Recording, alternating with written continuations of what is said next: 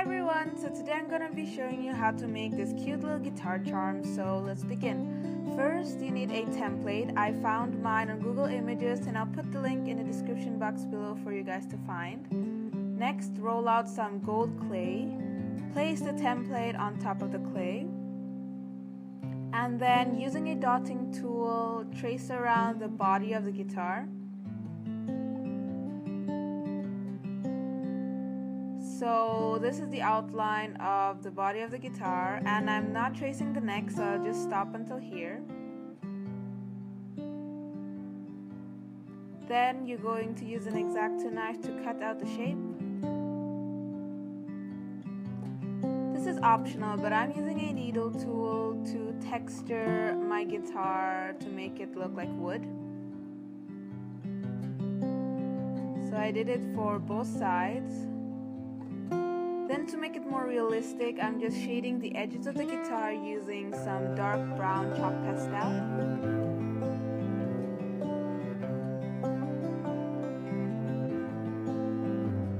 And it should look like this.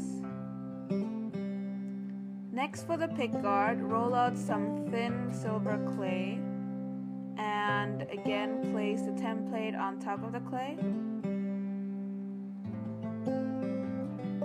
Using a dotting tool again just outline the pickguard so cut it out and place it on top of the body of the guitar. Now next we're going to do the neck and roll out some black clay a bit thinner than the body of the guitar that we just made. Again trace it out using your dotting tool and cut it out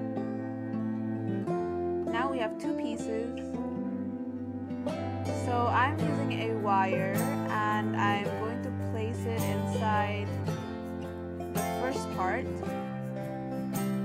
To strengthen it up, I'm going to use TLS. This way um, it will be much more sturdy. And yeah, I'm just assembling the guitar. Next, roll out a thin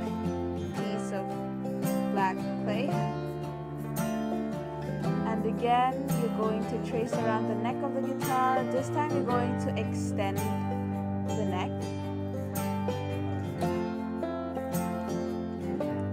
And I'm going to use a template as a guide on where to cut it.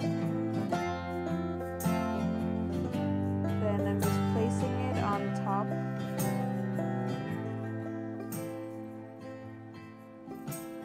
Now I'm just using the X-Acto knife to smooth out the sides and you can smooth out with your fingers as well. And I just begin to do the details. So I just made some little details that I'm going to put on the guitar. I'm using the template as a reference but you can decorate your guitar any way you'd like.